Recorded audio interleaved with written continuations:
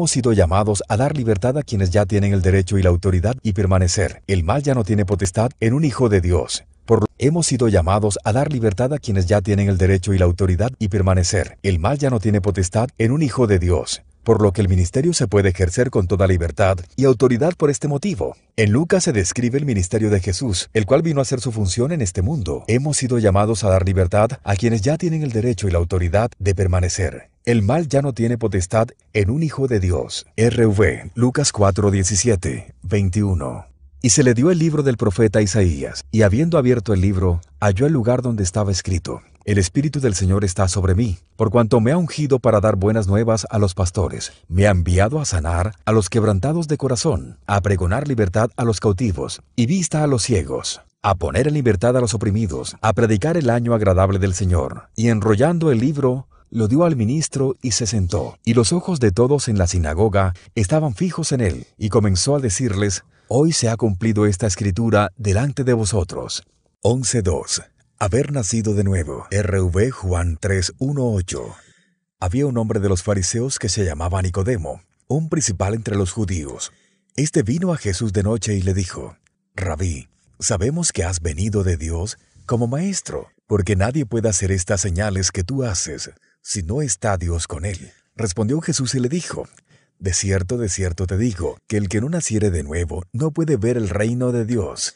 Nicodemo le dijo, ¿cómo puede un hombre nacer siendo viejo? ¿Puedo acaso entrar por segunda vez en el vientre de su madre y nacer? Respondió Jesús, de cierto, de cierto te digo, que el que no naciere de agua y del Espíritu no puede entrar en el reino de Dios. Lo que es nacido de la carne, carne es, y lo que es nacido del Espíritu, Espíritu es. No te maravilles de que te dije, os es necesario nacer de nuevo. El viento sopla de donde quiere y oye su sonido, mas ni sabes de dónde viene, ni a dónde va. Así es todo aquel que es nacido del Espíritu. El nuevo nacimiento requiere reconocer a Jesucristo como único Salvador y de reconocer que su sangre derramada en la cruz fue sacrificio suficiente para devolvernos la vida en el Espíritu que por la desobediencia de un hombre, Adán, estaba muerto y que por la multitud de pecados en el hombre hacía necesario este sacrificio para la libertad. Dios envía a su Hijo, quien por medio del sufrimiento aprendió obediencia y por su obediencia y sacrificio fuimos salvos y Él exaltado. RV, Hechos 2.38. Pedro les dijo, Arrepentíos y bautícese cada uno de vosotros en el nombre de Jesucristo para perdón de los pecados, y recibiréis el don del Espíritu Santo. La obra salvadora de Jesús es completamente por su gracia. RV, Efesios 2.1.10. Y Él os dio vida a vosotros cuando estabais muertos en vuestros delitos y pecados, en los cuales anduvisteis en otro tiempo, siguiendo la corriente de este mundo, conforme al príncipe de la potestad del aire, el espíritu que ahora opera en los hijos de desobediencia entre los cuales también todos nosotros vivimos en otro tiempo en los deseos de nuestra carne, haciendo la voluntad de la carne y de los pensamientos, y éramos por naturaleza hijos de ira, lo mismo que los demás, pero Dios, que es rico en misericordia, por su gran amor con que nos amó, aun estando nosotros muertos en pecados, nos dio vida juntamente con Cristo. Por gracia sois salvos, y justamente con Él nos resucitó, y asimismo nos hizo sentar en lugares celestiales con Cristo Jesús, para mostrar en los siglos venideros las abundantes riquezas de su gracia en su bondad para con nosotros en Cristo Jesús. Porque por gracia sois salvos, por medio de la fe, y esto no de vosotros, pues es don de Dios, no por obras, para que nadie se gloríe porque somos hechura suya, creados en Cristo Jesús para buenas obras, las cuales Dios preparó de antemano para que anduviésemos en ellas. Nuevo nacimiento nos hace nuevas criaturas, invalidando todo nuestro pasado. RV 2 Corintios 5, 17, 21. De modo que si alguno está en Cristo, nueva criatura es. Las cosas viejas pasaron, he aquí todas son hechas nuevas, y todo esto proviene de Dios, quien nos reconcilió consigo mismo por Cristo, y nos dio el ministerio de la reconciliación, que Dios estaba en Cristo reconciliando consigo al mundo, no tomándoles en cuenta a los hombres sus pecados, y nos encargó a nosotros la palabra de la reconciliación. Así que somos embajadores en nombre de Cristo, como si Dios rogase por medio de nosotros, o rogamos en nombre de Cristo, reconciliaos con Dios, al que nos conoció pecado. Por nosotros lo hizo pecado, para que nosotros fuésemos hechos justicia de Dios en él sabiendo que nuestro espíritu vive y está unido al Espíritu Santo que nos guía, poniendo nuestra fe en la esperanza venidera de nuestra salvación. RV 1, Pedro 1, 3, 5. Bendito Dios y Padre de nuestro Señor Jesucristo, que según su grande misericordia nos hizo renacer para una esperanza viva, por la resurrección de Jesucristo de los muertos, para una herencia incorruptible, incontaminada e inmarcesible, reservada en los cielos para vosotros, que sois guardados por el poder de Dios mediante la fe, para alcanzar la salvación que está preparada para ser manifestada en el tiempo postrero. Ahora somos templo del Espíritu Santo. RV 1 Corintios 6, 19, 20. ¿O ignoráis que vuestro cuerpo es templo del Espíritu Santo, el cual está en vosotros, el cual tenéis de Dios, y que no sois vuestros, porque habéis sido comprados por precio? Glorificad, pues, a Dios en vuestro cuerpo y en vuestro espíritu, los cuales son de Dios. El mismo Espíritu Santo nos guía a toda verdad. RV Juan 16, 7, 15. Pero yo os digo la verdad, os conviene que yo me vaya, porque si no me fuera, el consolador no vendría a vosotros, mas si me fuere, os lo enviaré. Y cuando Él venga, convencerá al mundo de pecado, de justicia y de juicio. De pecado, por cuanto no creen en mí, de justicia, por cuanto voy al Padre, y no me veréis más, y de juicio, por cuanto el príncipe de este mundo ha sido ya juzgado. Aún tengo muchas cosas que deciros, pero ahora no las podéis sobrellevar. Pero cuando venga el Espíritu de verdad, él os guiará a toda la verdad, porque no hablará por su propia cuenta, sino que hablará todo lo que oyere, y os hará saber las cosas que habrán de venir. Él me glorificará, porque tomará de lo mío, y os lo hará saber. Todo lo que tiene el Padre es mío. Por eso dije que tomará del mío, y os lo hará saber. El Espíritu Santo en nosotros es la evidencia de nuestra redención venidera Efesios 1, 13, 14. En él también vosotros, habiendo oído la palabra de verdad, el evangelio de vuestra salvación, y habiendo crecido en él, fuisteis sellados con el Espíritu Santo de la promesa, que es las arras de nuestra herencia, hasta la redención de la posesión adquirida, para alabanza de su gloria. 11.3. Ser un genuino discípulo de Cristo obedeciendo su voluntad, primero que la de los hombres, cumplir con mis deberes sociales y económicos en la iglesia, amando al prójimo, perfeccionándonos en su amor. RV Juan 15, 7, 17. Si permanecéis en mí y mis palabras permanecen en vosotros, pedid todo lo que queréis y os será hecho. En esto es glorificado mi Padre, en que llevéis mucho fruto y seáis así mis discípulos, como el Padre me ha amado. Así también yo os he amado. Permaneced en mi amor. Si guardaréis mis mandamientos, permaneceréis en mi amor, así como yo he guardado los mandamientos de mi Padre y permanezco en su amor. Estas cosas os he hablado, para que a mi gozo esté en vosotros y vuestro gozo sea cumplido. Este es mi mandamiento, que os améis unos a otros, como yo os he amado. Nadie tiene mayor amor que este, que uno ponga su vida por sus amigos. Vosotros sois mis amigos, si hacéis lo que yo os mando. Ya no os llamaré siervos, porque el siervo no sabe lo que hace su Señor, pero os he llamado amigos, porque todas las cosas que oí de mi Padre os las he dado a conocer. No me elegisteis vosotros a mí, sino que yo os elegí a vosotros, y os he puesto para que vayáis y llevéis fruto, y vuestro fruto permanezca, para que todo lo que pidiereis al Padre en mi nombre, Él os lo dé. Esto os mando, que os améis unos a otros. ¿Cómo se reconoce un discípulo de Cristo? En el amor al prójimo. RV Juan 13, 34, 35. Un mandamiento nuevo os doy, que os améis unos a otros, como yo os he amado, que también os améis unos a otros. En esto conocerán todos que sois mis discípulos, si tuviereis amor los unos a los otros. Es necesario obedecer a Dios antes que a los hombres. RV Hechos 5, 32. Respondiendo Pedro a los apóstoles dijeron, es necesario obedecer a Dios antes que a los hombres. El Dios de nuestros padres levantó a Jesús, a quien vosotros matasteis colgándole en un madero. A este Dios ha exaltado con su diestra por príncipe y salvador, para dar a Israel arrepentimiento y perdón de pecados, y nosotros somos testigos suyos de estas cosas, y también el Espíritu Santo, el cual ha dado Dios a los que obedecen. 11.4. Dispuesto a discernir y recibir. Estar atento a la voz del Espíritu Santo. Los hijos de Dios tenemos esa capacidad de parte de Dios para poder discernir lo que está pasando en el momento de la liberación. RV 1 Juan 5.1.5. Todo aquel que cree que Jesús es el Cristo es nacido de Dios, y todo aquel que ama al que engendró, ama también al que ha sido engendrado por él. En esto conocemos que amamos a los hijos de Dios, cuando amamos a Dios y guardamos sus mandamientos. Pero este es el amor a Dios, que guardaremos sus mandamientos y sus mandamientos no son gravosos, porque todo lo que es nacido de Dios vence al mundo. Y esta es la victoria que ha vencido al mundo, nuestra fe. ¿Quién es el que vence al mundo, sino el que cree que Jesús es el Hijo de Dios? 11.5. Miembro activo del cuerpo de Cristo sometido bajo autoridad. La persona debe ser un miembro activo del cuerpo de Cristo y estar bajo autoridad. Quien no entienda y se rija bajo los principios de autoridad no cuenta con las bases reales de comprensión y certeza de la autoridad que piensa ejercer sometido a los demonios a la obediencia a Cristo y a su palabra, pues su propia vida está en contravía con los principios establecidos por Dios para el hombre. No ser sujeto a la autoridad equivale a la desobediencia, y esta condición demuestra que no tiene el llamado al ministerio puesto que el sometimiento, la sujeción y la obediencia propia deben dar fe de la autoridad comprendida con la que se va a someter a los demonios para que asimismo estos también se sometan. Sométase toda persona a las autoridades superiores, porque no hay autoridad sino de parte de Dios, y las que hay por Dios han sido establecidas. RV Romanos 13, 10. Sométase toda persona a las autoridades superiores, porque no hay autoridad sino de parte de Dios, y las que hay por Dios han sido establecidas, de modo que quien se opone a la autoridad, a establecido por Dios resiste, y los que resisten acarrean condenación para sí mismos, porque los magistrados no están para infundir temor al que hace el bien, sino al malo. ¿Quieres, pues, no temer la autoridad?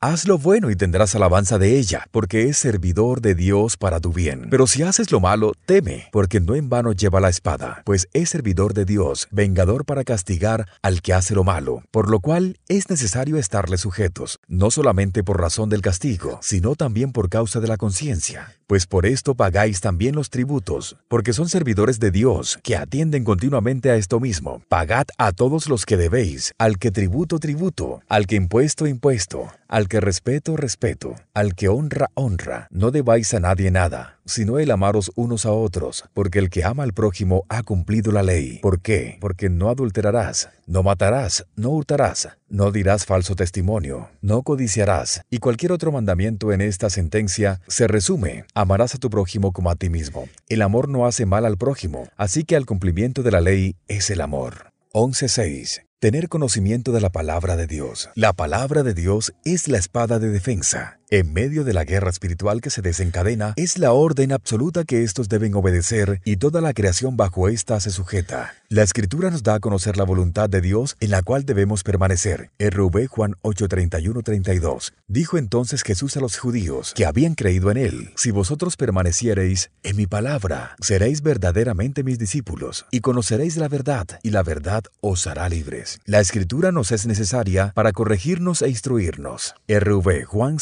5 Escudriñad las escrituras, porque a vosotros os parece que en ellas tenéis la vida eterna, y ellas son las que dan testimonio de mí a fin de que el hombre de Dios sea perfecto, enteramente preparado para toda buena obra. RV 2 Timoteo 3, 14, 17. Pero persiste tú en lo que has aprendido y te persuadiste, sabiendo de quién has aprendido, y que desde la niñez has sabido las sagradas escrituras, las cuales te pueden hacer sabio para la salvación por la fe, que es en Cristo Jesús. Toda la escritura es inspirada por Dios y útil para enseñar, para redarguir, para corregir, para instruir en justicia, a fin de que el hombre de Dios sea perfecto, enteramente preparado para toda buena obra. La leche espiritual no adulterada significa que va a ser revelada directamente al lector sin intermediarios por medio del Espíritu Santo y está dirigida a su edificación personal directamente de Dios. RV 1 Pedro 2 5. Desechando, pues, toda malicia, todo engaño, hipocresía, envidias y todas las detracciones, desead como niños recién nacidos la leche espiritual no adulterada, para que por ella crezcáis, para salvación, si es que habéis gustado la benignidad del Señor, acercándonos a Él, piedra viva, desechada, ciertamente por los hombres, mas para Dios escogida y preciosa.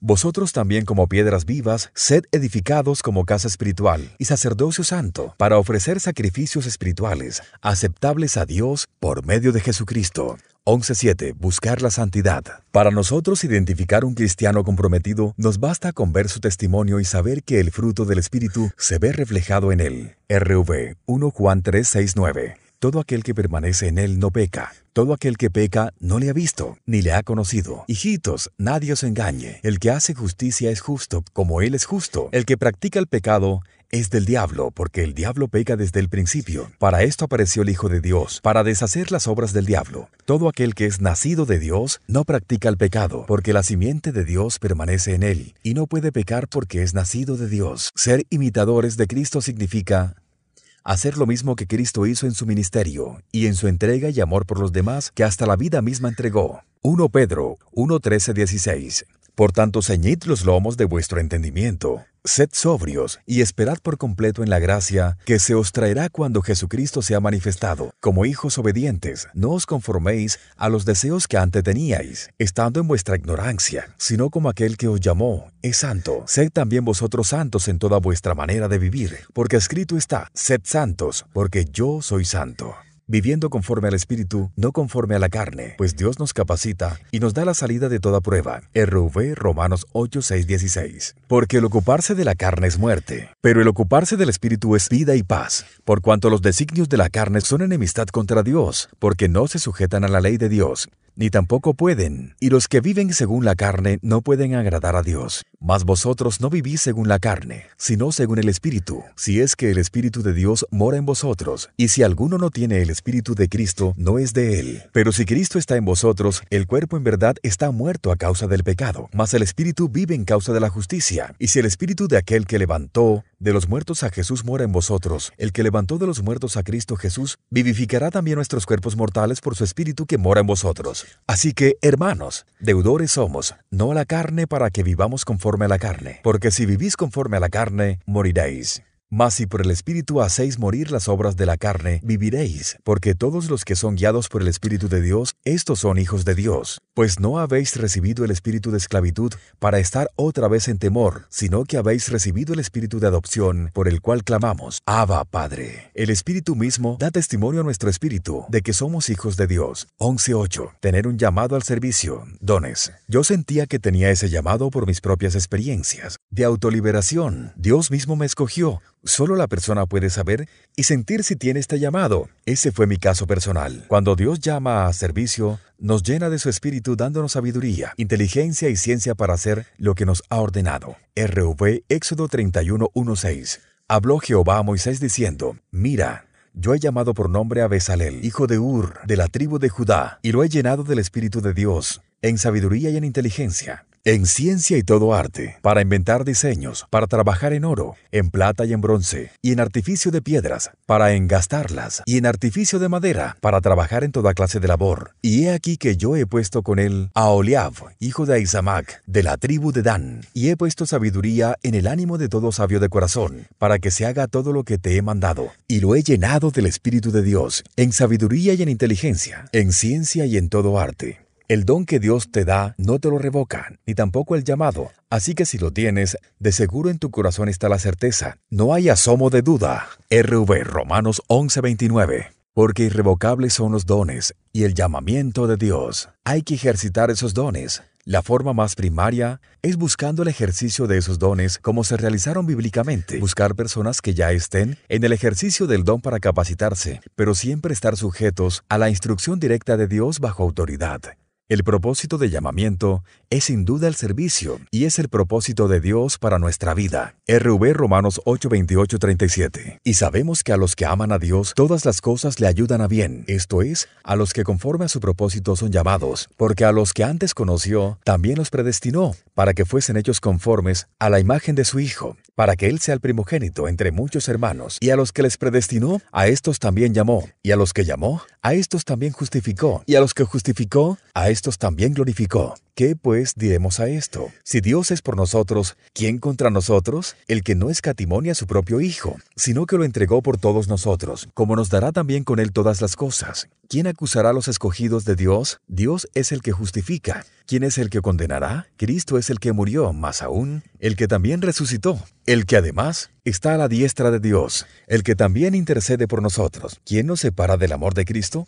¿Tribulación o angustia o persecución o hambre o desnudez o peligro o espada? Como está escrito, por causa de ti somos muertos todo el tiempo, somos contados como ovejas de matadero. Antes en todas estas cosas somos más que vencedores por medio de aquel que nos amó, por lo cual estoy seguro de que ni la muerte ni la vida, ni los ángeles, ni principados, ni potestades, ni lo presente, ni lo porvenir. 11.9. Integridad no cuestionada. Las cosas que un hijo de luz hace pertenecen a la luz, y ninguna está encubierta ni tiene por qué avergonzarle. RV 1 Timoteo 3.8.13. Los diáconos, asimismo, deben ser honestos, sin doblez, no dados a mucho vino, no codiciados de ganancias deshonestas, que guarden el ministerio de la fe con limpia conciencia, y estos también sean sometidos a prueba primero, y entonces ejerzan el diaconado. Si son irreprensibles, las mujeres asimismo sean honestas, no calumniadoras, sino sobrias, fieles en todo.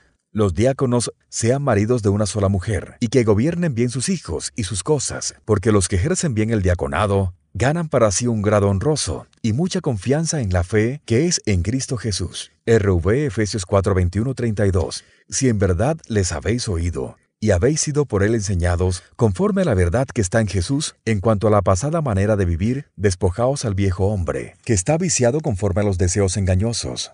Deseos, engaños, y renovaos en el espíritu de vuestra mente, y vestíos de nuevo hombre, creado según Dios en la justicia y santidad de la verdad, por lo cual desechando la mentira, hablad verdad cada uno con su prójimo, porque somos miembros los unos de los otros. Airaos, pero no pequéis no se ponga el sol sobre vuestro enojo, ni deis lugar al diablo. El que hurtaba, no hurte más, sino trabaje, haciendo con sus manos lo que es bueno, para que tenga que compartir con el que padece necesidad. Ninguna palabra corrompida salga de vuestra boca sino la que sea buena para la necesaria, sino la que sea buena para la necesaria edificación, a fin de dar gracias a los oyentes, y no contristéis al Espíritu Santo de Dios, con el cual fuisteis llamado para el día de la redención. Quítense de vosotros toda amargura, enojo, ira, gritería y maledicencia, y toda malicia. Antes sed benignos unos con otros, misericordiosos, perdonándonos unos a otros, como Dios también perdonó a vosotros en Cristo. Lo que éramos, en la vieja naturaleza ya no lo somos más. Sin embargo, nuestra acostumbrada forma de vivir nos inducirá de cierta forma por antiguos comportamientos, pero la nueva naturaleza está dotada de dominio propio y de todo lo necesario para resistir al diablo, para que huya o nosotros huir de las circunstancias molestas que nos pueden llevar a caer. 11.10 Humildad.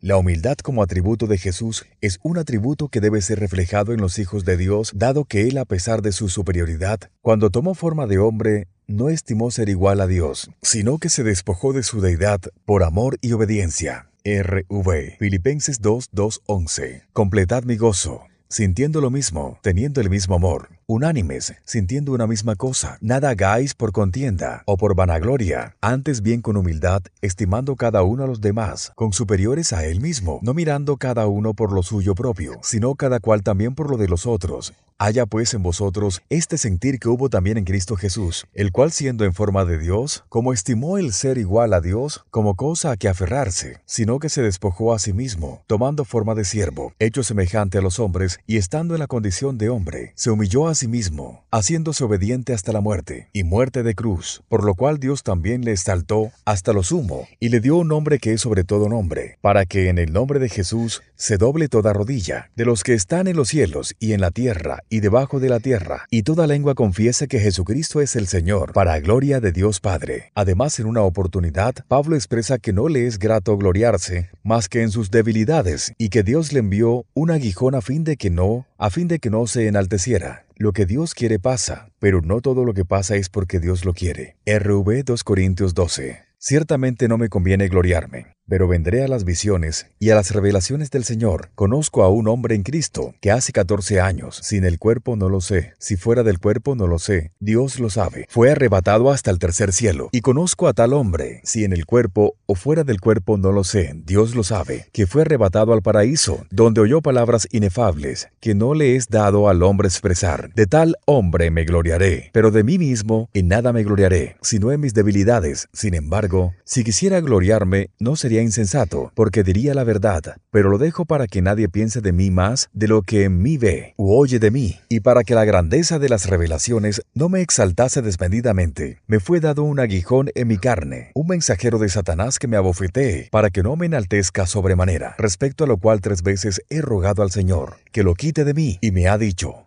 Bástate mi gracia, porque mi poder se perfeccionará en la debilidad. Por tanto, de buena gana me gloriaré más bien en mis debilidades, para que repose sobre mí el poder de Cristo. Por lo cual, por amor a Cristo me gozo en las debilidades, en afrentas, en necesidades, en persecuciones, en angustias, porque cuando soy débil, entonces soy fuerte. Me he hecho un necio al gloriarme. Vosotros me obligasteis a ello, pues yo debía ser alabado por vosotros, porque nada he sido menos que aquellos grandes apóstoles, aunque nada soy. Las señales de apóstol han sido hechas entre vosotros en toda paciencia, por señales, prodigios y milagros. Y estando en la condición de hombre, se humilló a sí mismo, haciéndose obediente hasta la muerte y muerte de cruz. 11.11 compasión. Es necesario hacer esto por genuino amor, desear de corazón sincero, ver libre a los hijos de Dios no por dinero ni por vanidad, reconociendo que esto no proviene de sí mismo, sino que proviene de Dios, y es un absoluto privilegio el ser instrumento de Dios para dar libertad. RV Colosenses 3, 21. Vestíos pues como escogidos de Dios, santos y amados, de entrañable misericordia, de benignidad, de humildad, de mansedumbre, de paciencia, soportándonos unos a otros y perdonándonos unos a otros, sí, si alguno tuviera queja contra otro, de la manera que Cristo os perdonó, así también hacedlo vosotros, y sobre todas estas cosas vestidos de amor, que es el vínculo perfecto, y la paz de Dios gobierne en vuestros corazones, a la que asimismo fuisteis llamado en un solo cuerpo, y sed agradecidos. La palabra de Cristo more en abundancia en vosotros, enseñándonos y exhortándonos unos a otros en toda sabiduría, cantando con gracia en vuestros corazones al Señor, con salmos e himnos y cánticos espirituales, y todo lo que hacéis, sea de palabra o de hecho, hacedlo todo en el nombre del Señor Jesús, dando gracias a Dios Padre por medio de Él. Casadas, estad sujetas a vuestros maridos, como conviene en el Señor. Maridos, amad a vuestras mujeres y no seáis ásperas con ellas. Hijos, obedeced a vuestros padres en todo, porque esto agrada al Señor. Padres, no exasperéis a vuestros hijos, no exasperéis a vuestros hijos, para que no se desalienten.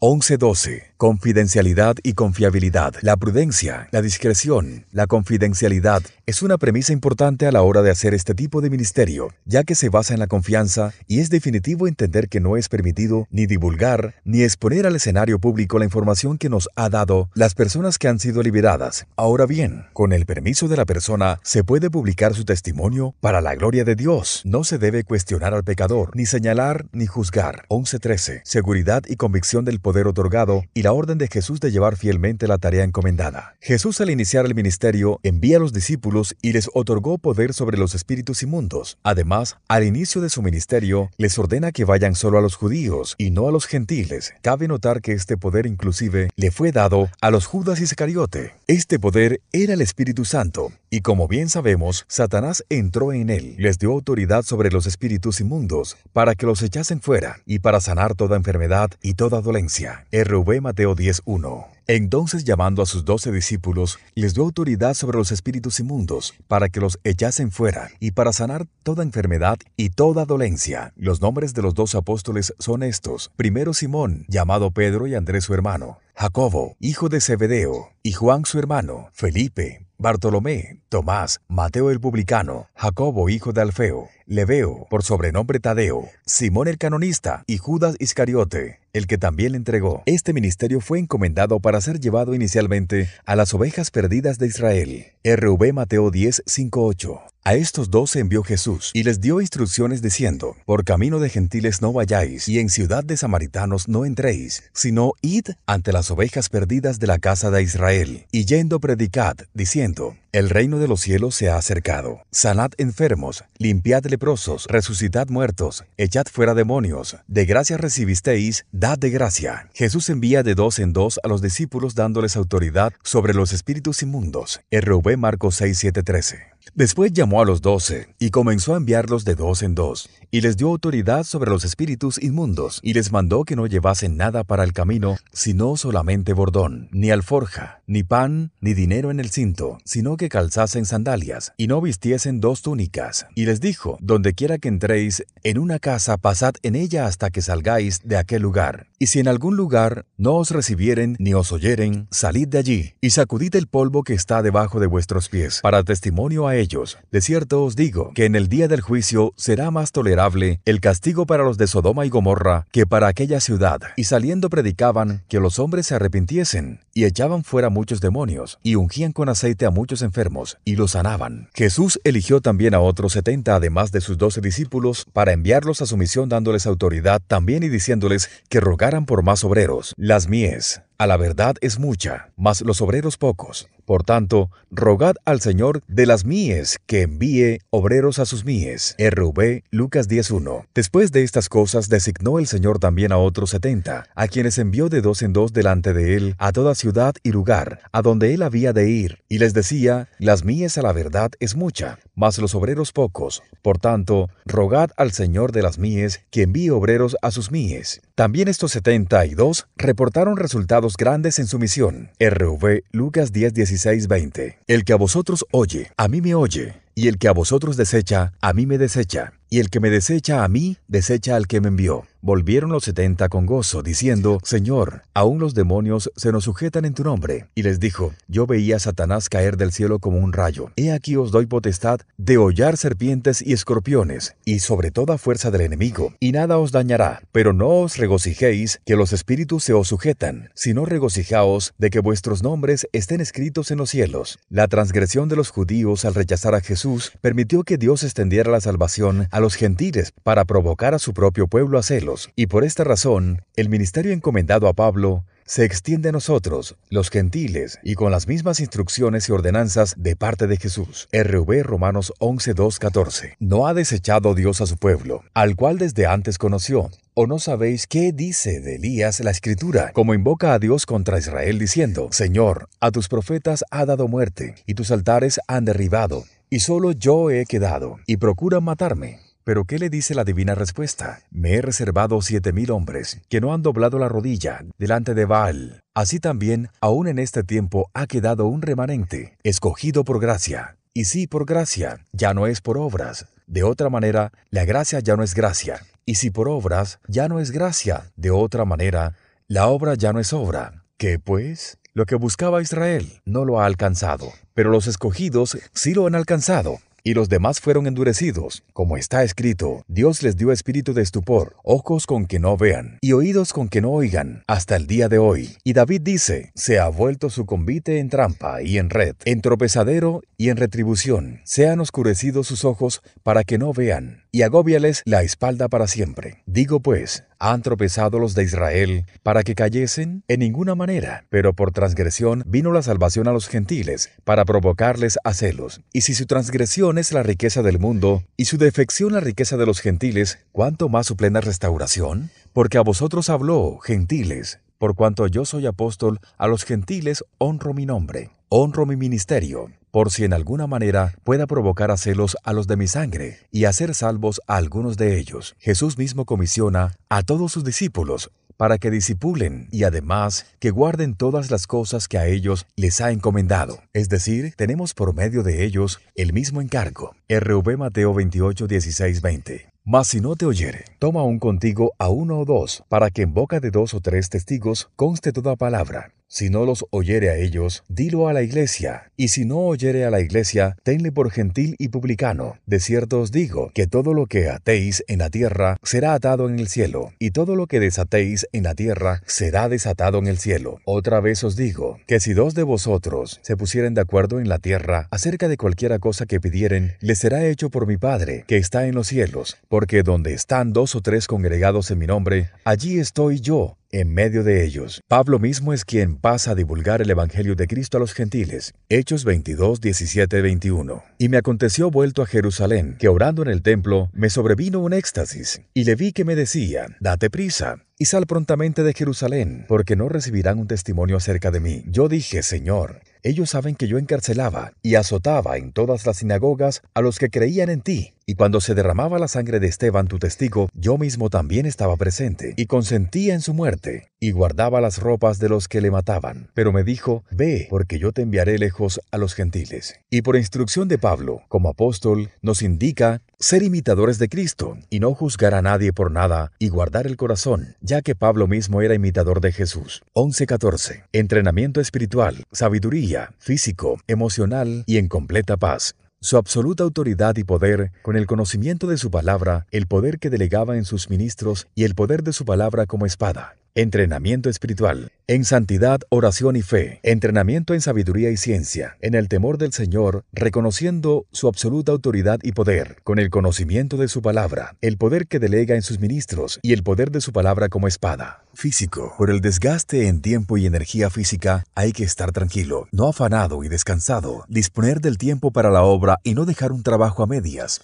Por eso debe dormir, comer bien y hacer deportes. Emocional. Reconociendo con certeza que soy para Dios y que el trabajo que realizo para Él es tener claridad de la importancia de la función que cumplo en su ministerio, el cual Él respalda pues es su propio siniestro. Es su propio ministerio, y en completa paz, pues por nada debemos afanarnos, Dios siempre tiene el control. RV 1 Corintios 2, 9, 15. Porque también para este fin os escribí, para tener la prueba de si vosotros sois obedientes en todo, y al que vosotros perdonáis, y también, porque también yo lo he perdonado. Si algo he perdonado por vosotros, lo he hecho en presencia de Cristo, para que Satanás no gane ventaja alguna sobre nosotros, pues no ignoramos sus maquinaciones. Cuando llegué a Troas para predicar el Evangelio de Cristo, aunque se me abrió puertas en el Señor. No tuve reposo en mi espíritu por no haber hallado a mi hermano Tito. Así, despidiéndome de ellos, partí para Macedonia. Mas a Dios gracias, el cual nos lleva siempre en triunfo en Cristo Jesús y por medio de nosotros manifiesta en todo lugar el olor de su conocimiento, porque para Dios somos grato olor de Cristo en los que se salvan y en los que se pierden. Reconociendo el poder de la palabra y el poder de mi nueva condición de hijo cuya autoridad proviene de la sangre de Jesús, la palabra de Dios es viva y eficaz y más cortante que toda espada de dos filos y penetra hasta partir el alma y el espíritu, las coyunturas y los tuétanos, y discierne los pensamientos y las intenciones de corazón. RV, Hebreos 4:12, porque la palabra de Dios es viva y eficaz, y más cortante que toda espada de dos filos, y penetra hasta partir el alma y el espíritu, las coyunturas y los tuétanos, y discierne los pensamientos y las intenciones del corazón. Y no hay cosa creada que no sea manifiesta en su presencia. Antes bien, todas las cosas están desnudas y abiertas a los ojos de aquel a quien tenemos que dar cuenta. Creer en el poder de la sangre de Cristo. Mi fe es el principal instrumento para el ministerio. RV Mateo 17, 15, 21. Señor, ten misericordia de mi hijo, que es lunático y padece muchísimo, porque muchas veces cae en el fuego y muchas en el agua. Y lo he traído a tus discípulos, pero no le han podido sanar. Respondiendo Jesús dijo, Oh generación incrédula y perversa, ¿hasta cuándo he de estar con vosotros? ¿Hasta cuándo os he de soportar? Traédmelo acá. Y reprendió Jesús al demonio, el cual salió del muchacho, y éste quedó sano desde aquella hora. Viniendo entonces los discípulos a Jesús, aparte dijeron, ¿por qué nosotros no pudimos echarlo fuera? Jesús les dijo, por vuestra poca fe, porque de cierto os digo, que si tuviereis fe como un grano de mostaza, diréis a este monte, pásate de aquí allá, y se pasará, y nada os será imposible. Pero este género, pero este género no sale sino con oración y ayuno. No tener ninguna clase de miedo, ya que comprendo con absoluta confianza que mayor es el que está en mí que el que está en el mundo. 11.15. No tener ningún temor. Reconocer la autoridad que le fue delegada para el servicio. No tener ninguna clase de miedo, ya que comprendo con absoluta confianza que mayor es el que está en mí que el que está en el mundo. 2 Timoteo 1.7 porque no nos ha dado Dios espíritu de cobardía, sino de poder, de amor y de dominio propio. La autoridad de la sangre de Cristo rompe todo yugo. 11.16. Beneficios de tener un equipo de liberación. 1. Estaremos cumpliendo totalmente la gran comisión. Si esta es la parte de la gran comisión, que sea esta dejando afuera. Expulsar los demonios, liberar a los cautivos. Así es, cumplirla totalmente y no parcialmente como las mayorías de las iglesias están haciendo. Precisamente es lo que se persigue con este libro, equipar al pueblo de Dios. Juan 14:12. En verdad, en verdad os digo, el que cree en mí, las obras que yo hago, él las hará también, y aún mayores que éstas hará, porque yo voy al Padre. Juan 20:21. Entonces Jesús les dijo otra vez, paz a vosotros, como me envió el Padre, así también yo os envío. 2. Los miembros no salen a buscar ayuda afuera. Eso es lo que sucede ahora. Muchos vienen desesperados a nuestro ministerio buscando esa ayuda. Uno de los propósitos de este libro es que usted como pastor o líder se capacite en esta área de liberación y atienda a las ovejas del Señor, que les dio para que las cuidara y sanara. 3. Congregación libres de demonios. Esto es una gran bendición. Libre de opresiones demoníacas. 4. Congregación sana física y espiritualmente. Sí, estar libre de esas opresiones demoníacas es lo que quiere Jesús. Tenemos el poder y la autoridad de Él a nuestro favor. 5. Avivamiento con señales y prodigios. Si se ponen en práctica las enseñanzas de este libro, hay un gran porcentaje que lo que vendrá será una explosión de avivamiento, porque estas señales y prodigios estarían dándose. Hechos 5.16. También la gente de las ciudades, en los alrededores, Acudía trayendo enfermos y atormentados por espíritus inmundos, y todos eran sanados. 11.17. Deberes de los integrantes. 1. Haber pasado por liberación. Esto sin excepción. Toda persona que vaya a estar en el equipo de liberación tiene que haber pasado por este proceso. 2. Tener un llamado a este ministerio. Yo sentía que tenía ese llamado por mis propias experiencias de autoliberación. Dios mismo me preparó. Solo la persona puede saber y sentir. 3. Tener un matrimonio saludable preferiblemente casado. Su cónyuge puede ayudarlo cuando se presenten ataques de retaliación de los demonios. Mi esposa ha sido de gran ayuda. Su cónyuge puede ayudarlo cuando se presentan ataques de retaliación de los demonios. Mi esposa ha sido de gran ayuda. Cuarto, estar dispuesto a morir. Cuando digo morir, es a morir de verdad, ser muerto por la causa de Cristo, al entablar batalla con los demonios. Pero recuerde que no pueden quitarnos la vida así por así. Quinto, tener experiencias personales en liberación. Este punto es muy clave, haber sido adiestrado por el Espíritu Santo con los ataques personales en su propia vida. Esa fue mi experiencia. Sexto, Aprender a autoliberarse. Debe prepararse seriamente en aprender lo más rápido posible para aprender a autoliberarse. Podría estar solo en un ataque personal. Esto lo vivo a diario. Me mantengo en autoliberación constante.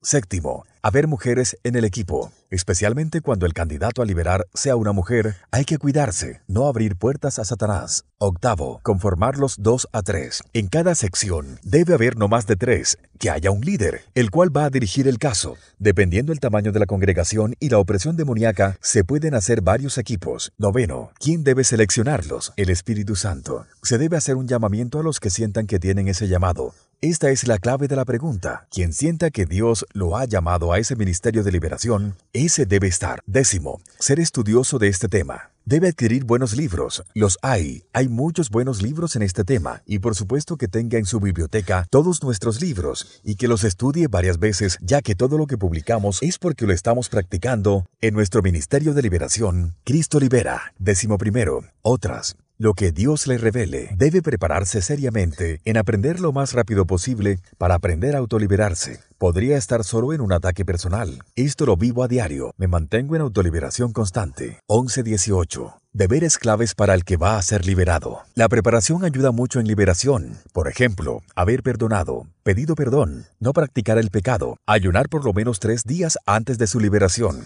y en lo que más pueda, haber leído estos libros de liberación. Esto es clave. Si se aprende sobre liberación, es más fácil ser liberado y mantener también esa liberación, ya que esta debe ser diaria. Mantenerla es una tarea diaria, alejados del pecado, porque Satanás anda como león rugiente buscando a quien devorar, y si se descuida puede quedar otra vez con demonios, y esto se consigue más fácil si la persona liberada aprende sobre liberación y además ayude a otro a ser libre. Este es uno de los propósitos de este libro, que se levanten hombres de Dios agradecidos por lo que Cristo hizo por nosotros, hombres guerreros, un ejército de hombres sirviéndole a la iglesia, la cual fue comprada a precio de sangre. 11.19. ¿Cuánto tiempo dura una liberación? Es muy variado. Es recomendable máximo de 2 a 3 horas. Es muy fatigado, tanto para el equipo de liberación como para el candidato. Si es necesario, se atan los espíritus y se para la sesión para otra ocasión. Y que repita los pasos, ayunar, orar, recordar pecados anteriores, confesar, etc. 11.20. ¿Cómo apoyar este ministerio? Orando. Se necesita mucha oración. Si es posible, que este ministerio lo pongan entre las oraciones de la iglesia, porque este es uno de los ministerios importantes y por consiguiente más atacado por el enemigo. 1121. Lugar de la liberación. Primero, debe haber un cuarto escogido para este fin y además ungido con aceite si es posible. 2. Amueblado, por lo menos para sentarse todas las personas involucradas. Es posible que duren horas ministrando. Hay que evitar en lo posible el cansancio físico. 3. Papeles de limpieza o rollos de papel higiénico. 4. Agua para tomar o limpiar en caso de vómitos. Quinto, canecas de basura o bolsas plásticas. Sexto, lápices, cuadernos para apuntes. Esto si desea tomar apuntes que es aconsejable para llevar un récord de personas liberadas, nombres de demonios, etc. 1122. Procedimiento en una liberación. 1. Contactar al equipo. 2. Si es posible, haber leído al menos un libro de liberación, uno de los nuestros o cualquiera. Es decir, que se familiarice en liberación. Este es el objetivo. 3. Llenar el formulario de liberación que está en el libro 2. Cuarto, Confesar pecados. Quinto, perdonar y pedir perdón. Sexto, hacer cita. 11.23. Llegó el día esperado, hora de la liberación. Les explicaré cómo normalmente lo realizamos. Usted puede variarlo si gusta. Todos estamos aquí guiados por el Espíritu Santo de Dios. Antes de llegar a esta cita, la persona ha llenado el formulario, está en el libro, y renunciando a sus pecados, es decir, ha arreglado su vida con Jesucristo, con las demás personas y con ella misma. Llegó el momento esperado de expectativa, y más para la persona que va a ser ministrada nerviosismo e incertidumbre. Y es por eso que por lo general les digo que se arrodillen en un rincón del cuarto por 15 a 30 minutos, recordando y confesándole los pecados que no se acordaba Jesús. Ahora bien, oramos y reprendemos por si hay algún demonio dando vueltas en el cuarto. 11.24. Pedir al Espíritu Santo que nos guíe. Oramos por protección. Nos colocamos a la armadura de Dios. Nos cubrimos con la sangre de Jesús, incluyendo nuestros familiares y propiedades, y pedimos que el Espíritu Santo nos guíe. Ya sentados todos y con el cuestionario en las manos, se le pide que cierre sus ojos, esto con el fin de que no se distraiga en nada. Empiezo a expulsar todos los demonios de inmediato, generacionales por pecados propios, destruyo las brujerías y los pactos, y se lleven todo incluido enfermedades. Todas estas oraciones están en el libro 2. Nos guiamos por revelación del Espíritu Santo y por el cuestionario. Después que terminó todo, que la persona haya sido liberada, haga un pequeño receso de 3 a 6 minutos y empiezo la segunda forma de ministración. Ordeno siempre en el nombre de Jesús que se presente cualquier demonio relacionado en esa persona, especialmente al de más alto rango, al jefe. Si no sale nada, es porque fue libre en la primera forma y oramos. Y le damos gracias a Dios por todo y nos vamos a casa. Pero si se presenta, le empezamos a hacer preguntas. Nombres, ¿cuántos son? ¿Qué daños le está haciendo? ¿Dónde tiene demonios? Si en la esposa, hijos, etc. Cada respuesta que el demonio nos dé, siempre pregúntale si lo que ha dicho lo puede sustentar ante el trono de Jehová Dios. Esto con el fin de que no nos engañe. Ellos son mentirosos, y luego los expulsamos con todo su reino. Allí déjese guiar por el Espíritu Santo. Y si va de reino en reino, repitiendo el proceso hasta que no quede nada. Si hay alguna resistencia, puede preguntarle cuál es el derecho legal y justifique que el derecho legal Cristo lo quitó en la cruz, con su sangre. Insista en eso, vea los testimonios y procesos que están en este libro. Ahí los puede notar. Y por último, expúlselos todos y le dan gracias a Dios por la liberación. Entréguenle las oraciones escritas, manual del libro Libérate, para que mantenga liberación, limpien el lugar y para la causa, cada respuesta que el demonio nos dé, siempre pregúntele si lo que ha dicho lo puede sustentar ante el trono de Jehová Dios. Ah, no olviden, cada liberación es diferente. El que libera es Dios y no sabemos cómo va a actuar. Mensajes para recordar. Pero respondiendo el espíritu malo, dijo, a Jesús conozco y sé quién es Pablo. Por vosotros, ¿quién sois? Son calificados como personas especiales o se tiende a exaltarlas más de lo debido, por lo que es necesaria la humildad en el reconocimiento de que este don procede y pertenece únicamente al poder de Cristo Jesús en su sangre derramada en las cuales anduvisteis en otro tiempo, siguiendo la corriente de este mundo, conforme al príncipe de la potestad del aire, el espíritu que ahora opera en los hijos de desobediencia, si alguno está en Cristo, nueva criatura es. Las cosas viejas pasaron, y aquí todas son hechas nuevas. Porque habéis sido comprados por precio. Glorificad pues a Dios en vuestro cuerpo y en vuestro espíritu, los cuales son de Dios. Como el Padre me ha amado, así también yo os he amado. Permaneced en mi amor. Si guardaréis mis mandamientos, permaneceréis en mi amor. Así como yo he guardado los mandamientos de mi Padre y permanezco en su amor. En esto conocemos que amamos a los hijos de Dios, cuando amamos a Dios y guardamos sus mandamientos. Si vosotros permanecéis en mi palabra, seréis verdaderamente mis discípulos, y conoceréis la verdad, y la verdad os hará libres. Como hijos obedientes, no os conforméis a los deseos que antes teníais, estando en vuestra ignorancia. Los diáconos asimismo deben ser honestos, sin doblez, por lo cual, desechando la mentira, hablad verdad cada uno con su prójimo, porque somos miembros los unos de los otros. Por lo cual, por amor a Cristo me gozo en las debilidades, afrentas, necesidades, percusiones, angustias, porque cuando soy débil, entonces soy fuerte. De cierto os digo que todo lo que atéis en la tierra será atado en el cielo, y todo lo que desatéis en la tierra será desatado en el cielo. 12. ¿Cómo destruir las brujerías, hechicerías más comunes? Las brujerías son maldiciones, rezos, conjuros o palabras hechas, enviadas a través de objetos u otras formas hacia una persona o animal. Los que ejecutan estas maldiciones son los demonios. En mi experiencia de trabajo en liberación, he encontrado muchas personas que han estado embrujados. Aproximadamente el 98% de todas las personas que Cristo ha liberado a través de este ministerio de liberación y sanidad les han hecho brujerías. Es muy común esta práctica de ocultismo. Muchas personas Usan este medio. En vez de buscar una pistola para hacer daño, buscan a una persona que sepa hacer brujerías. Los embrujos más comunes que he encontrado son los realizados por medios de muñecos, fotografías, comidas, bebidas, prendas de vestir, perfumes, polvos, pactos, tierras de cementerio, dedicaciones, sacrificios de animales, etc. Por lo tanto, hay que tener mucho cuidado. Un cristiano no puede quedar embrujado debido a que Dios cuida de él, pero sí le puede enviar estas maldiciones. El demonio no puede entrar. Se puede quedar cerca de la persona dándole vueltas. Si abre puertas al pecado, sí puede entrar ese embrujo o maldición, el cual es un demonio que cumple la orden el cual es un demonio que cumple la orden que le fue dada. Vea los testimonios y procesos de liberación debajo de este libro. Toda maldición o embrujo se puede cancelar o romper a través de Jesucristo. A continuación les presentaré las oraciones o formas que personalmente uso para que las personas se liberen de los embrujos. Le sugiero que si sabe o tiene sospecha qué fue lo que le hicieron o dieron para embrujarle, entonces enfoque la oración hacia eso que usted sabe, sea específico y declárelo con fe. 2.1. Por medio de fotos y muñecos con alfileres o agujas este es muy común. En todas mis campañas masivas y personales de liberación, destruyo en el nombre de Jesús los embrujos realizados por estos medios. Generalmente las personas sienten literalmente cuando se sacan las agujas.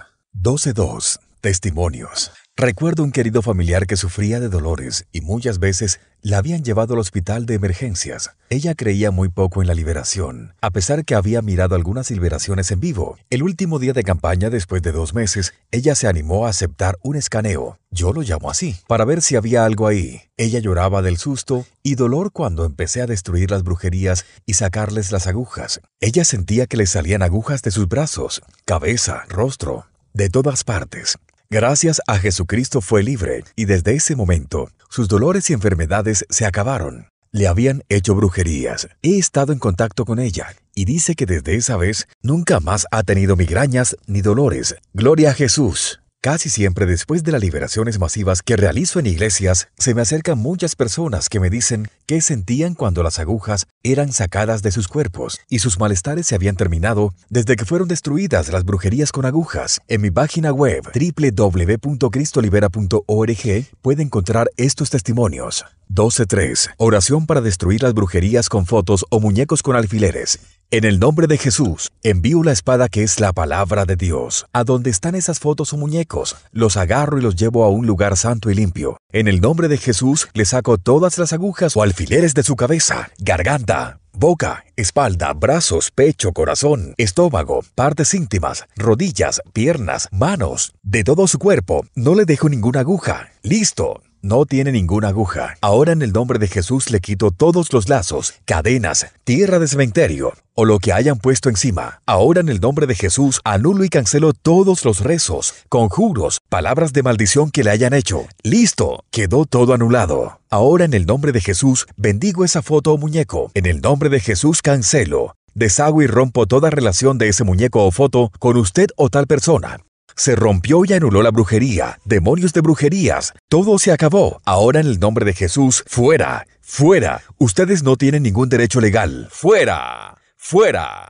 12.4. Por medio de comidas y bebidas. También muy común. Si usted sospecha de alguien, no le reciba nada. Testimonio. Me dijeron el caso de Elvira, nombre cambiado, que tenía 12 años de enferma, con manchas en todo su cuerpo, los pies llenos de sangre, con cortaduras en los pies, esta mujer tenía que dormir en el suelo. No podía estar en la cama. Cuando salía tenía que hacerlo a espaldas de su esposo. Cuando me dijeron inmediatamente la llamé por teléfono. Ella vive en otro país y como ustedes saben, yo vivo en Estados Unidos. Pero para Dios no hay nada imposible. La distancia no importa. En el proceso de liberación se descubrió el demonio. Él lo confesó. Él dijo que se llamaba María Leonza, un demonio muy conocido en Venezuela, y estaba ahí por medio de brujerías había sido enviado por medio de un jugo de maracuyá que la vecina le había dado a Elvira, el cual tomó. Desde ese entonces le empezó la enfermedad y destrucción de Elvira. Afortunadamente Elvira es cristiana y pudo liberarse de ese demonio y de la enfermedad. 12.5. Oración para romper brujerías por comidas o bebidas. Gloria a Jesucristo, que a través de Él tenemos todas las bendiciones, de ser totalmente libre. En el nombre de Jesús, rompo y cancelo todo conjuro, rezos y palabras de maldición que le hayan puesto a las comidas o bebidas que yo, tal persona, haya ingerido. Listo, quedó todo cancelado. Y ahora en el nombre de Jesús bendigo esa comida y bebidas. Listo, quedó rota y cancelada esa brujería. Por lo tanto, demonios de brujerías fuera, fuera, no tienen ningún derecho legal ni permiso. Yo a ustedes los envío para adentro del abismo en el nombre de Jesús. Fuera, fuera en el nombre de Jesús. 12.6. Brujerías por medio de prendas de vestir, uñas, pelos o partes del cuerpo, perfumes, polvos, nombre y apellidos. Muy comunes también. Hay que tener cuidado con los regalos, lo que hacemos o lo que pisamos, si nuestra ropa se pierde o se presta. He visto muchas personas embrujadas por medio de estas prácticas. 12.6.1. Testimonios. Como ustedes saben, tenemos miles de videos de liberación en Internet mediante los cuales las personas se comunican con este ministerio. Una de esas personas fue una joven de México, la cual llamaré Rosalba. Ella me comentó su trágica historia, su historia de sufrimiento. En seis años se había intentado suicidar siete veces. Una vez se tomó más de 90 pastillas antidepresivas y se había cortado las venas. En su relato vía internet, me contó que a ella le pidieron muchas prendas íntimas. Cuando me dijo eso, y vi el mal estado en que se encontraba, le sugerí hacerle una pequeña liberación y que después, en otro día, continuábamos. Ella aceptó de inmediato. Lo primero y único que hice ese día fue cancelarle las brujerías. Por sus prendas de vestir, automáticamente se manifestaron los demonios de brujerías, los cuales se fueron mediante vómitos. Quedó libre. Gloria a Jesucristo. Su rostro cambió y hasta le dio hambre. Después otro día seguimos con más liberaciones. 12.6.2. Oración. En el nombre de Jesús, cancelo y rompo todo conjuro, rezos y palabras de maldición que le hayan puesto a prendas de vestir, uñas, pelos o partes del cuerpo, perfumes, polvos, nombres y apellidos. Todo se acabó. Demonios de brujería. Fuera en el nombre de Jesús. Fuera. Fuera. 12.7. Brujerías por pactos de sangre o cualquier pacto demoníaco. Por medio de sacrificios de animales y humanos, usan su sangre para realizar pactos. Estos también son muy comunes y pueden realizarse, aún antes que la persona haya nacido. Ya nace con un demonio, el cual fue pactado por sus antepasados. Por eso es importantísimo realizar una liberación profunda. 12.7.1. Testimonios de liberación de pactos. Les relato la más reciente liberación en que encontré este caso. Esta persona había sido pactado por el mismo padre. De hecho, su padre no era cristiano y estaba practicando brujerías. Gracias a Dios que el demonio confesó el motivo por el cual no se iba y le confrontó con el pacto de sangre de Jesús, el cual ellos conocen muy bien. De esa manera pudo ser libre de ese espíritu maligno. 1272 Oración. En el nombre de Jesús, cancelo todos los pactos demoníacos que se hayan hecho a través de sacrificios de animales, gatos, perros, personas o de cualquier animal o pactos de cualquier forma. Todo queda cancelado por el pacto de sangre de Jesucristo hecho en la cruz del Calvario. Este pacto de sangre de Jesús es más poderoso que todos los pactos satánicos. Por lo tanto, todos quedan anulados ante el pacto de Jesús. Por lo tanto, demonios, fuera en el nombre de Jesús, fuera Fuera. Ustedes no tienen derecho legal ni permisos. Fuera en el nombre de Jesús. 1273. Oración para romper toda brujería de cualquier manera o formas. Esta oración se hace de último, después de las anteriores, en caso de que haya alguna brujería en la persona, la cual debe anularse. En el nombre de Jesús rompo, cancelo y deshago toda brujería, rezos, conjuros, maldiciones, rituales de sangre, oraciones, macumbas y santerías que hayan hecho contra mí o nombre. Listo. Quedó todo anulado, cancelado. Ahora demonios de brujerías fuera. Ustedes no tienen ningún derecho legal ni permiso sobre mí. La brujería se anuló, su trabajo se terminó. Fuera en el nombre de Jesús, fuera, fuera. 12.8. Formas y enfermedades comunes realizadas por brujerías. La más común es la que usan para conseguir a un ser amado. Generalmente hacen amarres a la esposa, amiga, novia, etc. Otra es para destruir negocios, familias, para que el esposo deje a la esposa y se vaya con otra persona, para que no funcione sexualmente, para enfermedades, en fin. Hacen brujería para lo que usted menos se imagina. Y lo triste es que esos demonios enviados se quedan en la familia por generaciones hasta que llega alguien con el poder y el nombre de Jesús que lo expulse. Importante. Debido a la importancia de este tema, ampliaremos este tema en el libro Libérate de las brujerías. Mensajes para recordar. He encontrado muchas personas que han estado embrujados. Aproximadamente el 98% de todas las personas que Jesucristo ha liberado a través de este ministerio de liberación les han hecho brujerías. Toda maldición o embrujo se puede cancelar o romper a través de Jesucristo. Pero para Dios no hay nada imposible. La distancia no importa. 13. Testimonios y procesos de liberación. En este capítulo especialmente, en los testimonios con sus procesos, por favor analice la forma y las preguntas que le hago al endemoniado. Esto con el fin de que usted se familiarice con estas preguntas y pueda usarlas cuando tenga que enfrentar al enemigo o ayudar a alguien a ser libre. 13.1. Libre de depresión crónica, ataques de pánico, enojo, odio, asma, dolores. Este es el testimonio de María, nombre cambiado. Esta fue una de las liberaciones más fuertes y difíciles, porque apenas comenzaba con el ministerio, y no sabía nada de esta joven. Me la llevaron y de inmediato el demonio se manifestó ferozmente, tomando todo control de ella. Y para completar, no hablaba español ni inglés, solo en dialecto raro. Era un demonio africano, y no se quería ir, a pesar que le insistía. Gracias a Dios, que nos guió a que el demonio escribiera, y por ahí se conoció su derecho legal.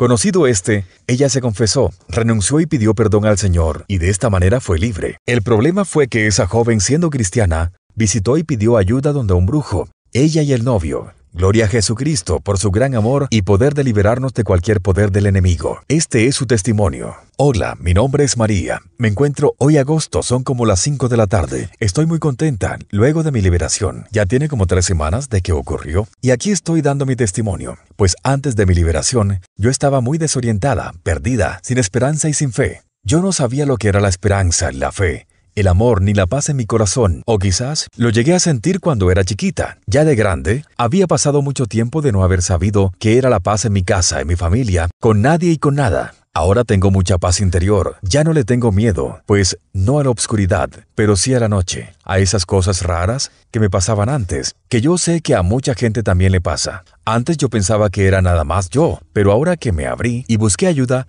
sé que hay muchas personas como yo, y que hay muchas que se han liberado, en el nombre de Jesucristo, se han liberado así como yo, y tienen esta paz que siento. Bueno, pues, les voy a contar cómo era antes, debido a que ya no más soy así. Pastor, interesante, porque tú eres cristiana, una mujer cristiana que ama a Dios, y aún así tenías esos problemas. María, sí. Pastor, ¿cómo te animaste a pedir ayuda? ¿Quién te habló para que buscaras ayuda? María, pues un día normal, como todos, yo llorando por mi depresión, porque así eran mis días antes, me la pasaba llorando, me la pasaba mal, y bueno, sin mentir, lloraba casi las 24 horas del día, estaba despierta, cinco, tres, lloraba, así era mi vida. Un día llegó un amigo, y él conocía al Señor, él llegó a mi trabajo, y con una cosita que me dijera a mí, yo me desvanecía y empezaba a llorar, y bueno, él se tocó el corazón, y con un simple abrazo, él me ayudó mucho. Me ayudó mucho ese abrazo que me dio y pues de ahí él me empezó a llevar a grupos de superación personal. Pero más que nada, encontré ayuda en el Señor, con Dios que fue donde más me refugié. Él me ayudó mucho a estar conmigo para animarme. Pero ya que yo dejaba de andar en actividades y en ocuparme, ya hacía de cuenta que volvía a mi vida, sino que eso eran como escapes a mi realidad.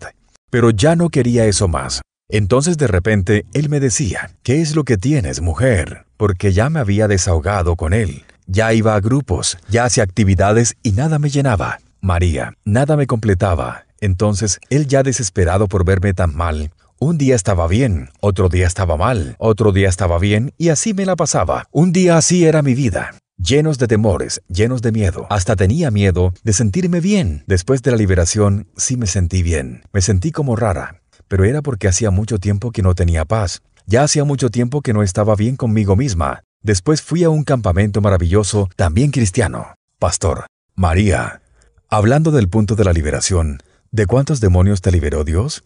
María, de seis. Y estaba desde hacía bastante tiempo, pero tampoco lo podemos entender mucho, porque no hablaba español. Pastor, sí, era un demonio, donde el lenguaje del demonio no era ni inglés ni español, sino el lenguaje africano. Era africano.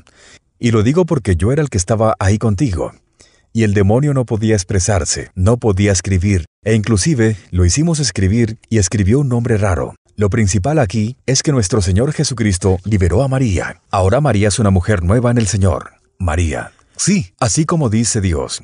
Y como nos quiere Dios, de gozo en gozo. María. Aunque seamos cristianos, va a haber problemas, pero ya sabemos por lo menos cómo enfrentarlos. Cómo decirle a cualquier ataque demoníaco que no tienen nada conmigo.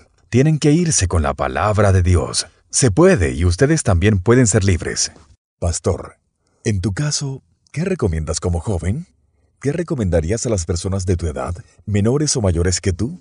que si sienten algo raro en su cuerpo o en su comportamiento que no es normal, que sientan que hay un poder sobrenatural en ellos que les hacen hacer cosas que no deben ser, ¿tú qué les dirías? Que se animen a buscar ayuda.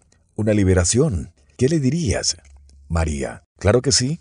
Yo les animo a que busquen a personas que sepan de liberación y busquen liberarse. Porque claro, hay que ir a la iglesia. Claro que sí. Pero esto te ahorra años de sufrimiento, te ahorra años de seguir mal. Esto te libera. Para mí fueron dos horas y algo. Te liberas en un día. Eso es increíble, que lo que tú has vivido por años te lo liberen en un día. Es algo maravilloso, algo hermoso, porque de ahí en adelante yo sé que mi vida ha cambiado. Va a seguir cambiando y va a seguir con cosas hermosas y gozosas. Y todo va a estar bien. Ya no más voy a sufrir como sufrí. Ya no más. No, todo lo hago enfocándome en Cristo. Pastor, ok. Muchas gracias María. Esto que estamos haciendo es para expandir el reino de Dios. Tú nos das permiso para colocar este video en YouTube para que la gente se pueda beneficiar de este testimonio, de que el poder de Dios, el poder de Jesucristo, es tremendo, es poderosísimo, pero que también hay demonios que mortifican, incluso a cristianos, ¿ok? ¿Nos das permiso para colocar este video en YouTube? María, sí, claro. Otra cosa que les quiero compartir es de que yo antes no reía. Yo de chiquita era muy activa, o sea, me la pasaba haciendo cosas buenas y cosas así. Era súper risueña, todo era positivismo, y después me volví todo lo contrario. Era una persona súper negativa. Ah, todo lo tenía, o le decía un pero, un no, donde todo era no, no gracias, no, cosas así. Ahora, aunque vaya manejando, me voy riendo. Es algo maravilloso que me ha pasado. Pastor, gloria a Jesucristo, toda la honra. Que Dios te siga bendiciendo, María. Toda honra y gloria para nuestro Señor Jesucristo. Amén. 13.2. Proceso de liberación de pacto de la piel de zapa.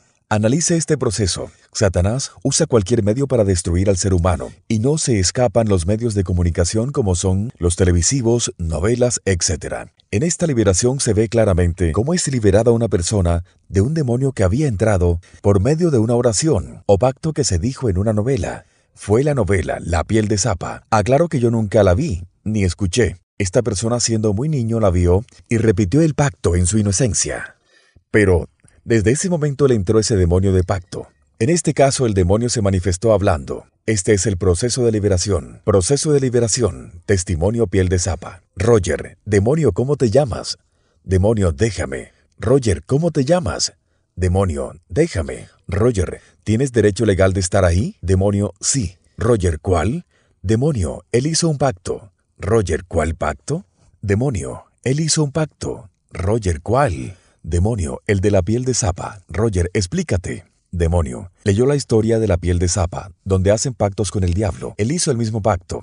Él no sabía lo que estaba haciendo. El mismo pacto de la novela de la piel de zapa. Él lo hizo, y no lo vas a romper. Roger, ¿qué pidió él? Demonio, él pidió de todo, de todo, cosas, todo, todo, todo. Era un niño católico. Roger, lo que has dicho, ¿lo puedes sustentar ante el trono de Jehová Dios? Demonio, claro que sí. Es verdad. Es verdad. Él lo sabe. Él lo sabe. Roger, tienes razón. Si tú estás ahí es porque tienes razón. Un pacto es un pacto. Ese es tu derecho legal. Demonio, entonces ¿para qué preguntas? Déjame tranquilo. Me voy para mi hueco. Roger, no. En el nombre de Jesús, no todavía. ¿Qué daños le estás haciendo? Demonio, no le hago daño. Soy yo quien le ha dado todo. Roger, un pacto es un pacto y tú lo estás cumpliendo. Estos son para cumplirlos. Tú estás ahí para cumplirlo. Demonio, sí le he dado todo. Él es inteligente, jejeje. Roger, ok. Zapote. En el nombre de Jesús te vas para atrás. Voy a hablar con Pedro. Llamo al espíritu humano de Pedro. Sal afuera. Demonio, me voy para el hueco. Roger, sí, vete. ¿Pero oíste lo que dijo el demonio? Pedro, sí, pero yo era un niño. Ni me acordaba de eso. Solo fue una novela. Roger, pídele perdón a Dios en el nombre de Jesús por ese pacto y renuncia a ese pacto. Y dile al demonio que el pacto de sangre de Jesús en la cruz del Calvario anula ese pacto. Pedro confesó. Roger, ¿demonio oíste? Demonio, así de fácil, ¿ah? Ah, Roger, un pacto es un pacto, es para cumplirlo. Mi Señor Jesucristo, su pacto anuló el tuyo. Ese es mi Señor. ¿Ya oíste? Demonio, sí. Roger, ¿tienes derecho legal de estar ahí? Demonio, sí. Roger, sí. Demonio, no. Roger, así es, no tienes derecho legal de estar ahí. Tu pacto se rompió. Fuera de ahí inmediatamente y te vas para el abismo en el nombre de Jesús. Nunca jamás regresarás a este hombre. Fuera, fuera, gloria a Jesucristo, eres libre. 13.3. Proceso de liberación del demonio de la Santa Muerte. Esta liberación fue realizada por Internet desde nuestra sede en Estados Unidos a México. Esta vez a una joven, Ana, nombre cambiado la cual estaba sufriendo de miedo, terror, ansiedad y locura. Había ido muchas veces a hospitales y se había intentado suicidar cortándose las muñecas más de siete veces. Después de expulsar muchos demonios, se quedó de último uno que se resistía a irse. Se encontró que ella había hecho un pacto con ese demonio muy conocido en México llamado la Santa Muerte, la cual adoran millones de mexicanos, hasta con procesión y todo. He aquí el proceso de liberación gracias a nuestro Señor Jesucristo, que en Él siempre hay victoria. Le damos toda honra y gloria solo a Él. Proceso de liberación. Demonio de la muerte. Pastor, ¿hizo un pacto contigo? Demonio, sí. Pastor, ¿qué pacto hizo? Demonio, sí. Pastor, ¿hizo un pacto contigo? Demonio, ella me iba a pedir siempre, en todo momento. Me prometió que cuando su hijo fuera grande, también lo haría. Por eso es mía. Pastor, ¿tú eres el demonio Santa Muerte? Demonio, sí. Ella es mía. Sí, ¿lo entiendes? Pastor, te estoy escuchando. Te estoy escuchando. Entiendo los pactos. Sé que los pactos son para cumplirlos. Ella cometió un pecado grande. Eso lo entiendo perfectamente. Los pactos son para cumplirlos, lo entiendo. Lo que tú estás diciendo, ¿lo puedes sustentar en el trono de Jehová como verdad? Demonio, así es. Pastor, ok, ahora yo voy a hablar con esta niña. Tú te vas para atrás en el nombre de Jesús, voy a hablar con ella. Pastor, ¿lo que dice este demonio es verdad? Ana, ¿cómo? Pastor, ¿lo que dice el demonio es verdad de que hiciste un pacto? ¿Le entregaste a tu hijo? Ana, sí. Pastor, ¿usted qué dio en el pacto? ¿Qué le entregaste? ¿O qué pasó? Ana, yo le pedí a Santa Muerte, desde antes que naciera mi hijo, a mí me decían que yo no podía quedar embarazada. Yo le pedí a la muerte y a las dos semanas supe que quedé embarazada. Entonces yo le prometí que mi hijo también lo iba a hacer. Pastor, ¿cuándo fue eso? Ana, fue hace unos ocho años. Pastor, ¿tú no conocías más nada de Jesucristo? ¿No conocías la palabra de Dios? Ana, no. Yo traía una cadenita con la imagen de la Santa Muerte. Pastor, ok. Estoy grabándolo todo, porque hay mucha gente que están, Dios mío, están errados, están confundidos. Qué error en México, qué error, cometiendo pactos con demonios, muerte y esas cosas. Pastor, ¿ese fue el pacto con la muerte? Son problemas. Ana, sí, Pastor, ok, cierra los ojos. Tú ya estás con el Señor. Tú eres de Cristo también. Cierra los ojos en el nombre de Jesús. Le hablo al demonio Santa Muerte que está ahí. Sal de esa obscuridad. Te postras de rodillas ante el trono de Jehová Dios inmediatamente. ¿Estás ahí? ¿Muerte estás ahí? Demonio, sí. Pastor, muerte, ¿ya oíste? ¿Tienes derecho legal aún ante esta mujer? Responda. En el nombre de Jesucristo, muerte. ¿Estabas ahí por el pacto que esta mujer hizo? Los pactos son para cumplirlos, ¿correcto? Demonio, así es. Pastor, pero ya oíste a esta mujer. Esta mujer quedó perdonada. Ese pacto que hizo esa mujer contigo, ¿ya sabes que se anuló? ¿Lo entiendes? Tú eres un demonio de alto rango que está en México, actuando fuertemente. Debes conocer bien la palabra de Dios. De hecho, la culpa no es tuya, la culpa es de la persona. Gente pecando haciendo cosas que no deben hacer, que van en contra de la palabra de Dios. Tú lo que haces es cumplirlo y que tu trabajo es matar, robar, destruir. El problema es la gente, la misma gente pecando. Tú eres demonio de alto rango en México, ¿no? Demonio, sí. Tienes mucha gente que te sigue en México. Demonio, demasiada. Pastor, ante la gente, ¿qué tienes que decir a la gente? Algo en favor de Cristo. ¿Tú qué quieres decirle a la gente? Te estoy grabando, demonio de la muerte. ¿Qué le dirías a la humanidad? Demonio, Jesús es el camino. Pastor, ¿qué más? Si tanto creen en su Dios, ¿por qué me buscan a mí? Pastor, así es. Demonio, ¿por qué me buscan? ¿Por qué me buscan? Pastor, así es. Buena pregunta la que haces. Pastor, es la gente, el pecado, es la ignorancia de la gente, es el pecado, es la ignorancia del mundo entero. Pastor, así es, para hacer el mal. Demonio, así es. Pastor, qué pena con Jesucristo. ¿Algo más que quieras decirle a la gente, Santa Muerte? Antes de irte. Y a la gente, demonio, sí. Demonio, que no jueguen conmigo, no jueguen conmigo. Pastor, ¿qué más? Sé explícito con la gente. Demonio, me buscan solo para cumplir caprichitos. Esto no es así. Pastor, por ejemplo, ¿qué es lo que más te busca la gente de México? ¿Qué es lo más común? Demonio, me piden para que regrese la persona, o que les vaya bien en su negocio, o negocio sucio, pero yo soy muy celosa. Yo quiero solo que me adoren nada más a mí, a ningún otro Dios. Pastor, así es. ¿Tú tienes más demonios en esta mujer? ¿Tú tienes más demonios en ellos? Demonios, el suicidio, la ruina, problemas familiares, enfermedades, es lo que tengo yo con ella. Pastor, ¿y en el hijo? Demonio que corra con la misma suerte de la madre. Pastor, ok, demonio de la muerte. Primero que se vayan todos los demonios que tienes tú en tu reino, tanto en esta mujer también como en el niño. Inmediatamente en el nombre de Jesús, salgan inmediatamente. Tú te quedas demonio de la muerte por ahora. Pastor de último, tú te quedas ahí en el nombre de Jesús, desocúpenla a ella y al niño, en el nombre de Jesucristo mi Señor. ¿Ya obedecieron muerte? Ni uno solo se queda de tu reino ahí, muerte. Muerte. ¿Todos se fueron ya? En el nombre de Jesús responda sí o no muerte. ¿Se están yendo? Demonios solo algunos. Pastor, haz que se vayan en el nombre de Jesús también. ¿Estás tú solo ahí muerte? Demonios somos pocos. Pastor, ok, en tu reino, ¿todos se fueron ya? ¿Todavía hay más de tu reino? Demonio, ya no. Pastor, ok, tanto en ella como en el niño, ¿ya no hay más demonios de tu reino? Demonio, no. Moviendo la cabeza. Pastor, ¿no hay más? ¿Lo puedes sustentar ante el trono de Jehová? Demonio, sí, moviendo la cabeza. Pastor, ok.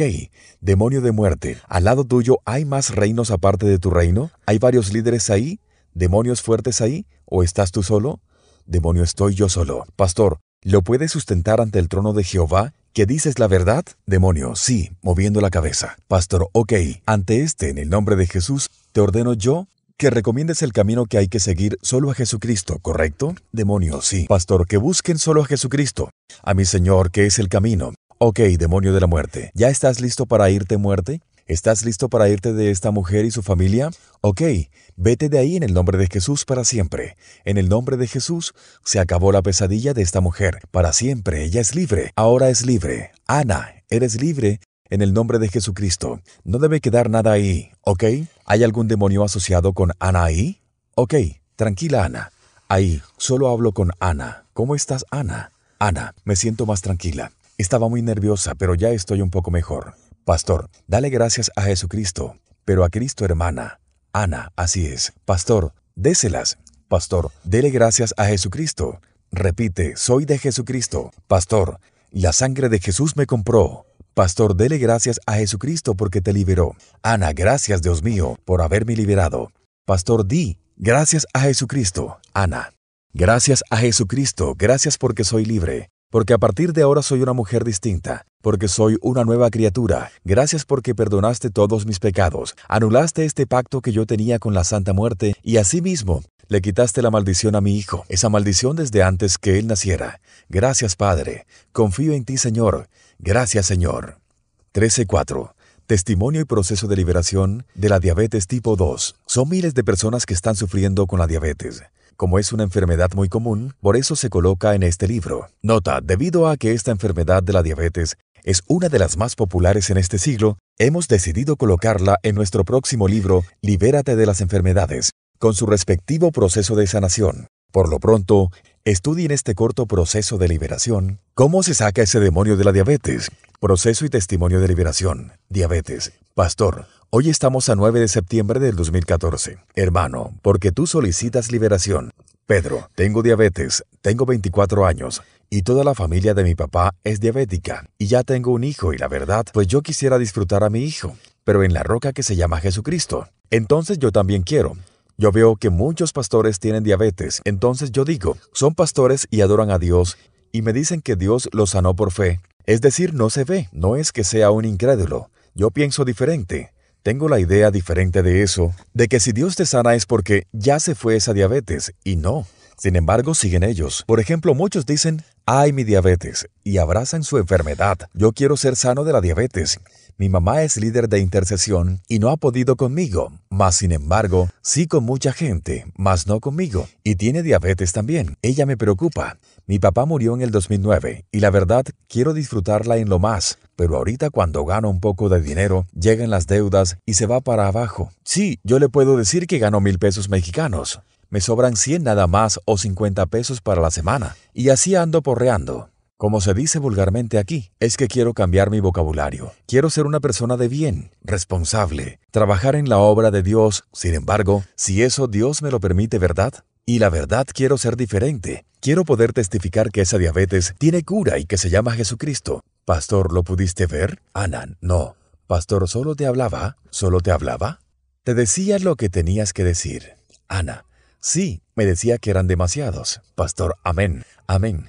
Ya con esa introducción tuya, más o menos completa, gracias al Señor, vamos a tu liberación, hermano. Estamos a septiembre 9 de 2014, en Seattle, Washington, en los Estados Unidos. Mi hermano se encuentra en Cancún, México, usando el Internet, la tecnología para la gloria de Jesucristo. A todos, a todos los demonios que están en este hombre les hablo en el nombre de Jesús, especialmente la de más alto rango. Al demonio más poderoso le ordeno que salga de esa oscuridad, de ese hueco, y se coloque de rodillas ante el trono de Jehová Dios. ¿Demonio estás ahí? ¿Demonio? Sí. Pastor, ¿tú estás ahí por el pecado que él cometió? ¿Esa fue la puerta? ¿Por eso estás dentro de este hombre? Tú has venido a robar, matar y destruir. Esa es tu naturaleza. Pero fue por el pecado. Ofendió al Señor, porque el Señor es santo. Santo, santo, así es. ¿Desde cuándo estás en este hombre? Demonios. Desde niño, él tenía 15 años. Pastor, ¿y qué pasó en la vida de este hombre hace 15 años? Demonio, veía pornografía. Pastor, error de este hombre, error de este hombre. ¿Cuántos demonios tienes tú en tu reino? En el nombre de Jesús, ¿cuántos? Demonios